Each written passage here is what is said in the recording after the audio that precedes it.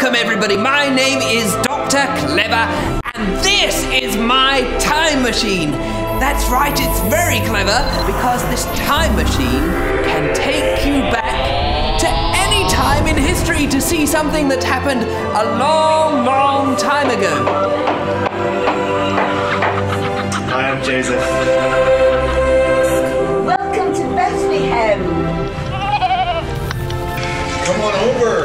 Over. I'm the shepherd. Come and warm yourself by the fire. These are my sheep, and I look after them day and night.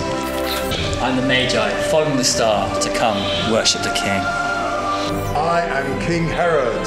Welcome to my beautiful palace.